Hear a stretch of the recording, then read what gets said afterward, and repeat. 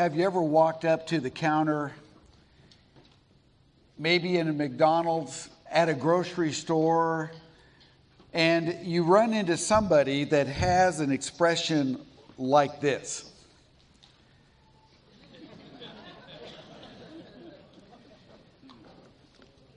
and you're thinking, this is probably not going to go well. Maybe they're having a bad day, maybe they're having a bad week, maybe a bad life. But you know that the attitude is one that is all over the face. You can clearly see it. We live in an especially negative society, don't we? When we think about the, being surrounded by people who are plagued with stinking thinking. They've got an attitude problem. They're unhappy about just about everything. They're unhappy about the government. They're unhappy on their jobs. They don't like where they live. There isn't much about anything that they like. And it reflects in their attitude, their disposition. There actually is a business in Houston that's called Tantrums Incorporated. This was a page that I got off of their website. And the ad says, We all have those days when you really can't take it anymore. The kids, the boss, the job, traffic, crowds, the spouse, the list goes on. At Tantrums LLC, we help you release that frustration by totally annihilating a room filled with dishes, TVs, windshields, and more via a sledgehammer, a baseball bat, lead pipe, bowling balls, and more. We promise you will feel relieved and get a great workout of the process. I'm told that their largest clientele are stay at home moms.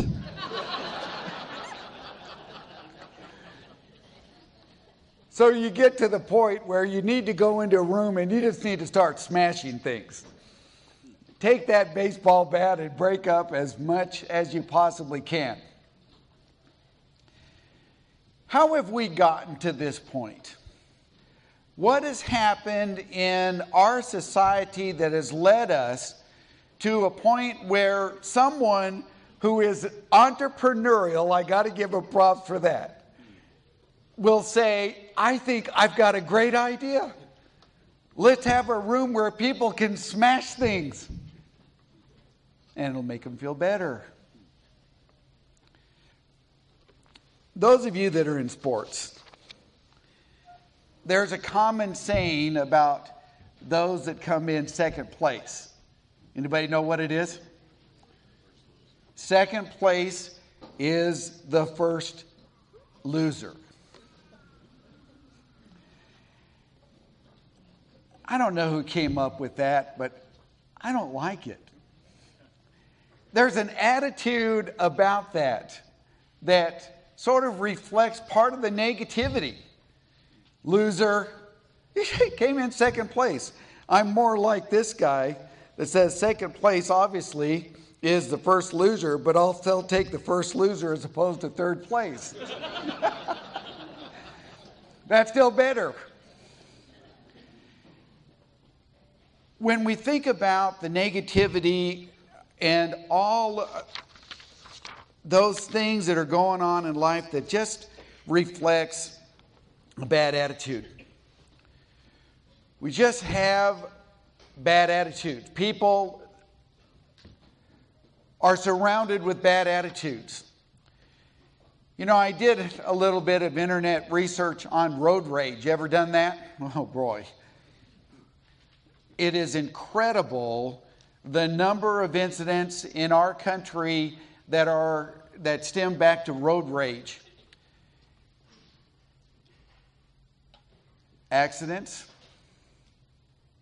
fights, murder. All because of uncontrolled attitudes. One of my favorite phone messages is Have a good day. Remember, it is a choice. Love that. Nobody makes you have a bad attitude. Like a good attitude, it is a choice. I remember my first preaching job was in Mississippi, and those of you that are here from Mississippi might relate to this, maybe not. I'm a Colorado boy, born and raised, city boy even. And I'm going to small town North Mississippi, first preaching job. I hated everything about Mississippi. They had bugs as big as mice, cockroaches that were, you could, yeah, make them pets. The humidity, ugh. And I'm a newlywed. Actually, they hired me when I was single. I got married in my first year there. And my lovely bride heard my bad attitude for months. And finally, one day, she had had enough. And she said, The problem is not Mississippi, the problem is you. You have a horrible attitude.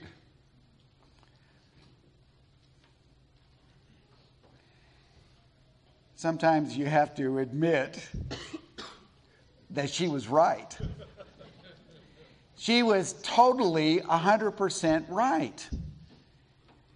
And as her words rang in my brain, I got to thinking, there needs to be a change. And so, starting on that day, beginning with asking her forgiveness, I started working on my attitude. And four years later, when the time had come to leave Mississippi, I cried. It was a very, very sad day because I had grown to love that state, love the people. Still didn't care about the cockroaches, but everything else. it is amazing how an attitude affects everything.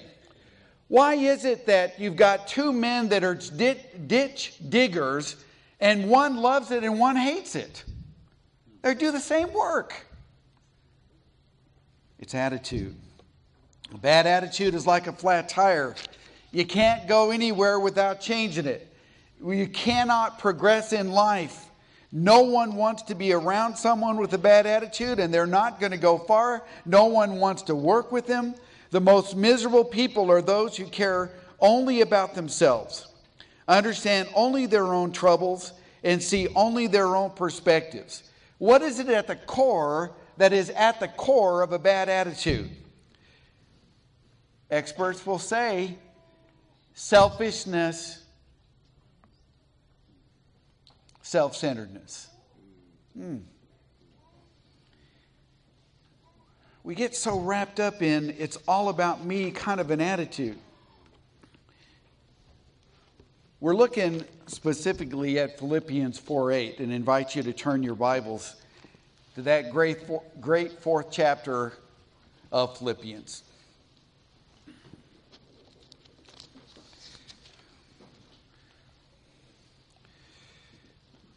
There's a little thing about epistles in the New Testament that unlock the key to some of the significant things that are being said in these books. Now, we have in Philippians chapter 4, verse 2, what are known as petition verbs. Maybe you haven't heard that word before, or maybe you're familiar with it. A petition verb. Did we lose me? Am I, am I still on? Okay. Is when, when you're writing a letter and you want to emphasize something, what are you going to do? You're going to underline it. You're going to maybe make it in bold. italicize it.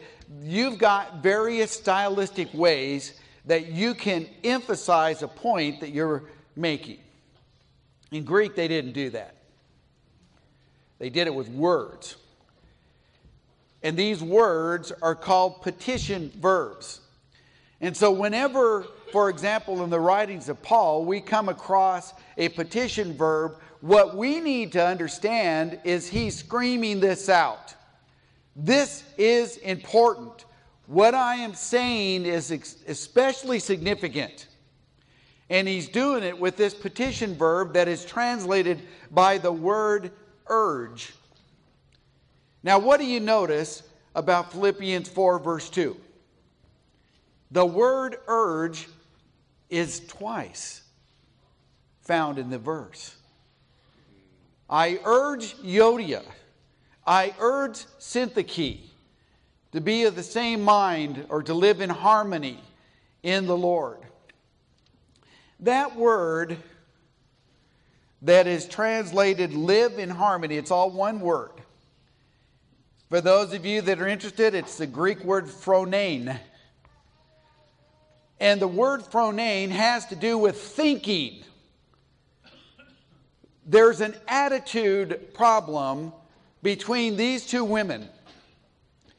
When we study through the book of Philippians, identif- we can identify what seems to be the core of the problem, and it is their attitude their attitude toward one another, especially, and how that is impacting the church at Philippi. When you look at Philippians chapter 2, verses 1 through 4, you see the core of the problem. And Paul is a, appealing to them. He uses this same word three times. We need to work on our attitudes. Consider one another as more important than yourself. And then he goes on to that great section have this attitude in yourself, which was also in Christ Jesus, who, though he existed in the form of God, did not regard equality with God to be grasped, but he emptied himself. Is Paul trying to launch on some little theological treatise? No, he's trying to give an illustration of the right attitude of selflessness, self sacrifice, a willingness to be equal with God. How do you get higher than that? You don't. And then he becomes a bondservant. Talk about a, a top to bottom story. But it wouldn't have happened without the kind of attitude that we see demonstrated in Jesus. Have this attitude in yourself so I'm urging you, Euodia, I'm urging you, Syntyche, to live in harmony, to be of the same mind in the Lord.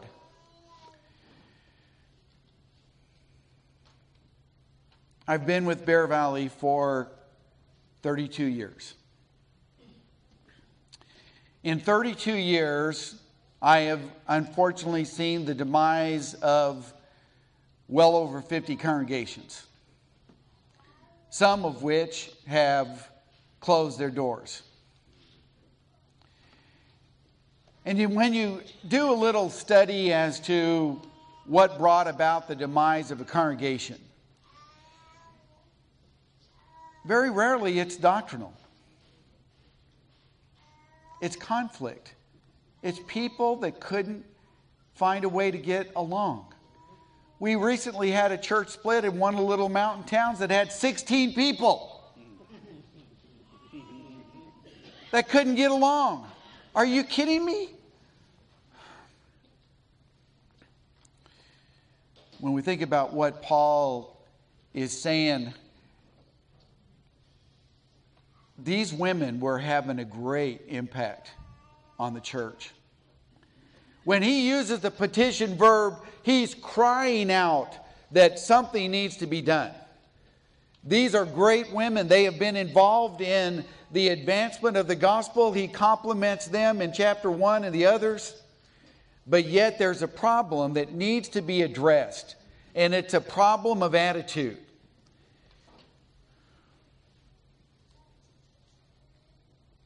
When we get to verse 8, Philippians chapter 4 and verse 8.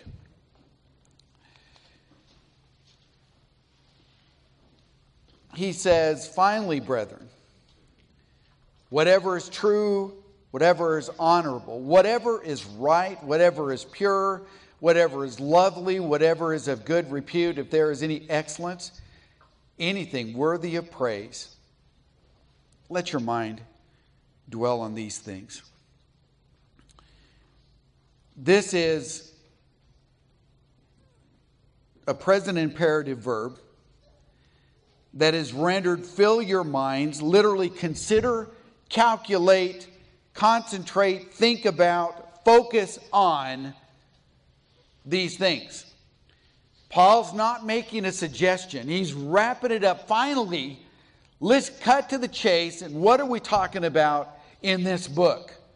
We're talking about our need to get to the point of having the right kind of attitude.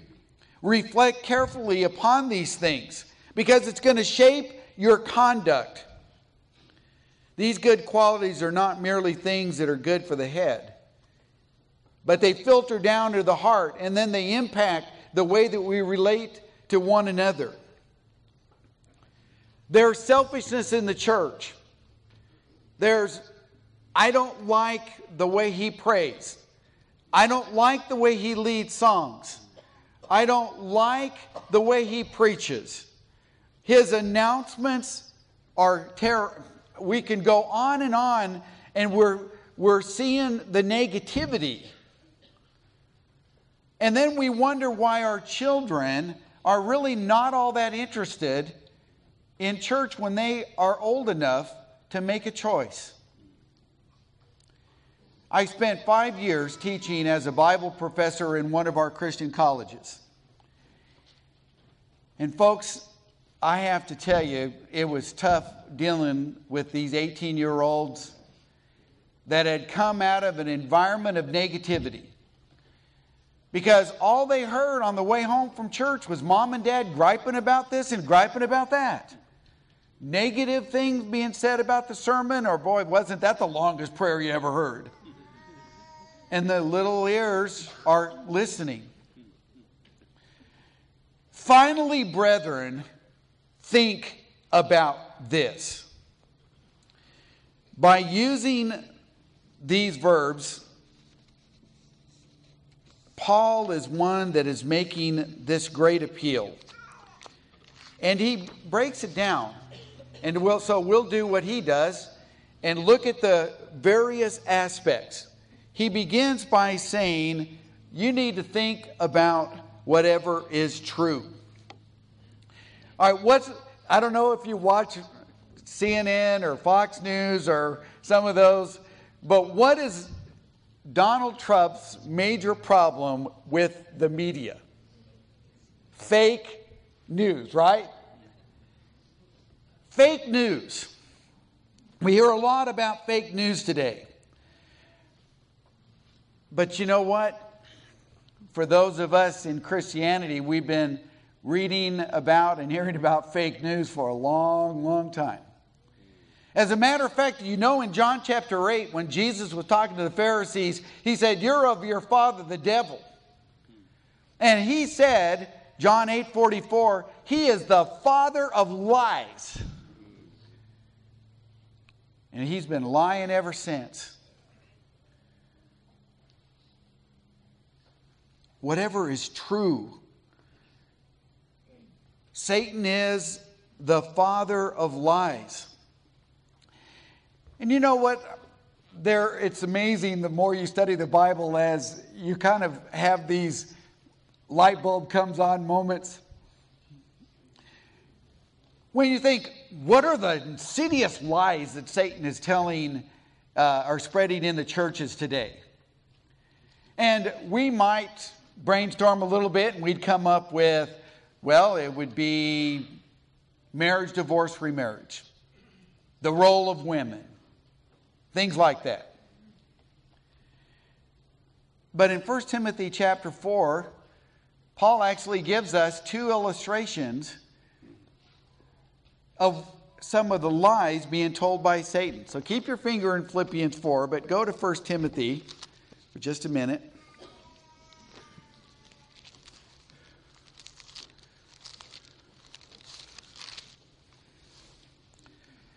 First Timothy chapter 4, we'll begin reading with verse 1. But the Spirit explicitly says that in latter times some will fall away from the faith, paying attention to deceitful spirits and doctrines of demons. All right, notice the deceitfulness by means of the hypocrisy of liars, there we go, seared in their own conscience as with a branding iron. All right, Paul, what are we talking about? What are these deceitful spirits and these doctrines that are coming from demons? Men which forbid marriage and advocate abstaining from foods. What? These are the two huge lies being told by Satan and it dawned on me, and maybe you were way ahead of me on this one, that Satan knows that it can be maybe the, the smaller things that can completely tear apart a church. Lies. Maybe they're small lies, but they're lies nevertheless. And those lies can be that which eventually just crumbles the church from its very foundation.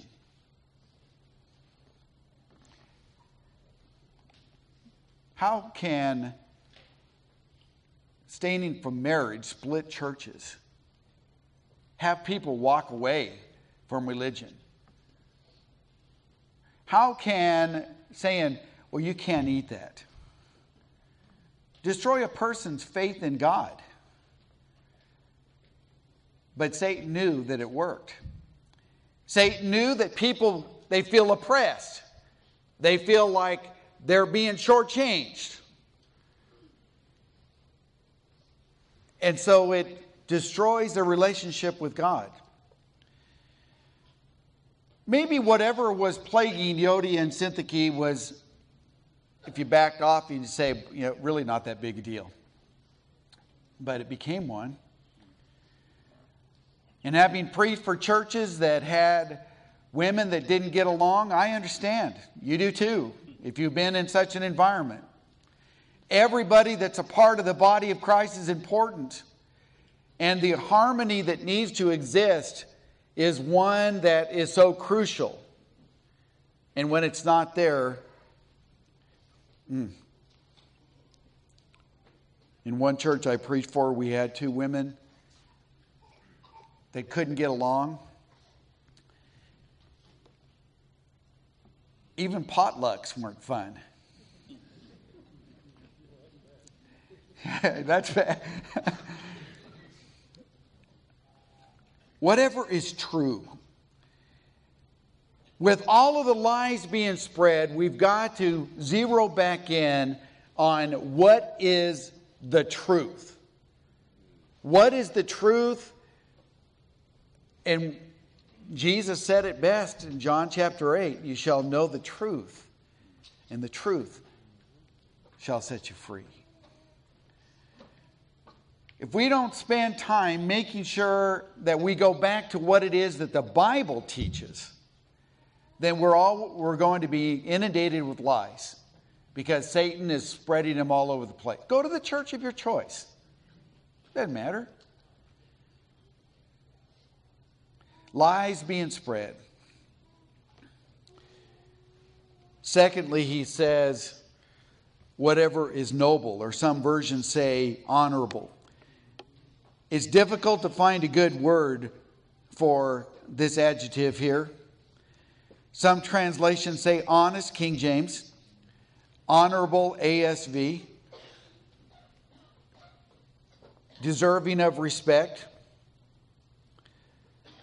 One possibility is dignified. Sometimes the concept of noble may be expressed in an idiomatic phrase. For example, that which causes people to look up or to admire. We're told in the Bible to honor those to whom honor is due, Romans 12:10, Romans 13 and verse 7. The good, the decent, the hardworking people among us should be honored and lifted up. This isn't rocket science. This is good, basic, fundamental Christianity where we're identifying the people that are doing good jobs. Howard talked about stars. Recognizing and identifying the stars among us. Imagine what your kids sitting in the back seat of the car are thinking if that's the conversation they're hearing on the way home. Man, she is such a wonderful Christian woman. What a great Bible teacher. As long as I've known her, she's been faithful. And little Johnny in the back seat's hearing that.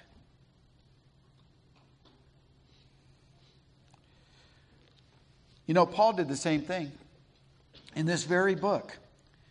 In chapter 2, and a lot of commentators will say, Paul just sort of kind of lost his place because he launches off and he wants to talk a little bit about Timothy and he wants to talk a little bit about Epaphroditus, and then he kind of gets back to it in chapter 3. No, not at all, folks. What he's doing is he's given examples of those who have put others above themselves. Jesus, have this attitude in yourself, which was also in Christ Jesus. And then he goes to Timothy. Look at Timothy. Look at the kind of man Timothy is. Look at the sacrifices Timothy has made. And then he goes to Epaphroditus and says, Men like him you need to esteem. What's he doing? Think on those kind of people.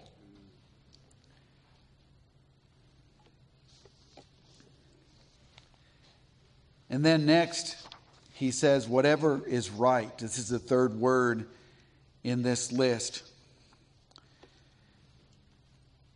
Sometimes the word is translated just, like in the RSV, in the NEB. And therefore, right when he gives to God and to his fellow man what is their due, there's an equity, a justice, a fairness. He accepts and performs his proper duty to God and to man. Do you feel like the concepts of right and wrong are blurred today? You know, Isaiah said in Isaiah 5 and verse 20, Woe to those who call evil good and good evil. So even in Isaiah's day, 700 years before Christ, there was the idea of blurring of these things, these concepts. In my pornography session, which is in the next hour, do you realize that in a rather extensive survey that was asked about people's perception of various social ills, that failing to recycle was considered far worse than viewing pornography? Whatever is right This word fits with the golden rule. When Jesus teaches us the principle of treating others the way we want to be treated, we know what right is, but we need to think on that, meditate, give that its due concentration. And then moving on, he says, whatever is pure. Jesus taught Matthew 5 and verse 8, Blessed are the pure in heart. The word blessed means approved of God.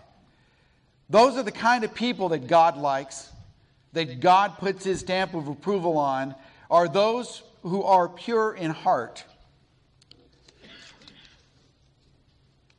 Sometimes the word is used of uh, ceremonial activity. Cleansed and is fit to offer to God, is pure in service of God, similar to the idea of what Paul's telling Timothy in 2 Timothy chapter 2 about the vessel that's cleansed. morally pure, undefiled, blameless. There's so much impurity in the world that we're called upon to do something that I think is very challenging and very difficult. But yet, it's still doable, and that is to, to put ourselves in an environment of that which is pure. And then next, he talks about lovely. This is the only time in the New Testament this word is found. It calls forth love, that which is love inspiring, causes one to love, or what it is that people love. Sometimes we overthink some things. Do you like the mountains? You like lakes, streams, sunsets? You know, I grew up in Colorado, majestic Rocky Mountains that my mom and dad took me to a lot when I was young. My dad was not a Christian, but my mom was. And mom would not fail to make an observation about the majesty and the greatness and the power of God as we're looking at those Rocky Mountains. And it wasn't until I was much older that I finally came to realize that it grounded me in my faith in a way I never even thought about at the time. But seeing a mountain and thinking about God, or seeing a river and then thinking about God, or looking at the beauty of a sunset or a sunrise and then thinking about God and the power of God is faith building. I don't believe Paul is saying any more than that say, well, I think Denny just told us to go to the lake. yeah, actually, I think Paul is telling us. What's lovely? Think on these things. Why is it that God made this planet so beautiful? You know, He didn't have to. He could have made it like the Sahara Desert and given us all bodies that could uh, survive a climate like on Mars, but He chose not to. Why? Because, as Paul explains in Romans chapter 1, it's a part of his nature. We look at the creation, and it's lovely, it's beautiful, and it brings us to some good thoughts in our minds about God, the greatness of God.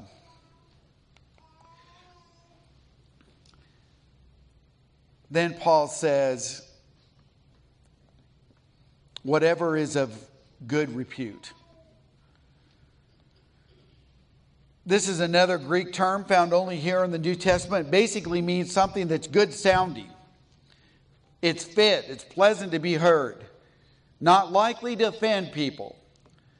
Some translations go with decent, reputable,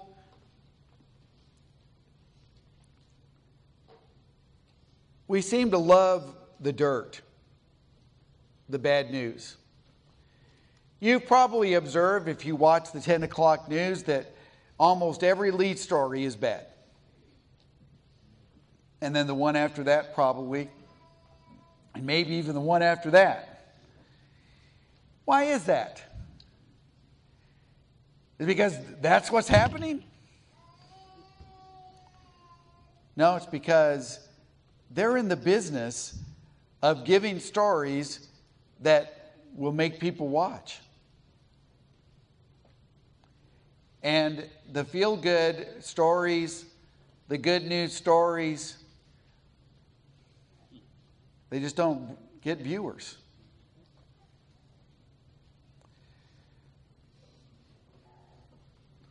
We like the news that seems to have the dirt, the bad news. But it drags us down and it impacts us and it, it affects our attitude. Instead, focusing on that which is good. I love the song Count Your Many Blessings. Name them one by one. Because we do have a lot of blessings. Have you ever visited somebody in the hospital that maybe is suffering from a horrific illness or had a terrible accident and you walk away feeling better? They encouraged you. My dear brother, Cy Stafford, passed away 1st of February. Longtime missionary in Tanzania and someone I consider to be a very close friend. When the doctors told him that his leukemia had come back with a vengeance and there was nothing else they could do, he was going to hospice, going back to Hattiesburg, Mississippi. Made a trip to go see Cy for the last time. And I could not have been more encouraged and uplifted by spending that day with him. He was one that it's that positive, good news, optimistic outlook. We saw the same thing in the Apostle Paul in chapter 1 when he's in prison and he's talking about how great it is that the gospel's being preached everywhere. It's that attitude. And Paul says, if there's any excellence, excellence of character, worthy of merit, uncommon character, worthy of praise. Too often we set the bar too low. We set as our examples rock stars, movie stars, athletes as our standard. Those are not excellent people. Jesus is the highest standard. And Paul says in Romans chapter 8 that we need to be conformed to the image of his son. That's setting the bar where it belongs. Then he says, whatever is worthy of praise. He used this word in chapter 1, verse 11, in reference to the praise of God. When we think about praise, fill in our minds with things to praise God, of course, and worthy people as well. So we have eight things, eight points being made by Paul.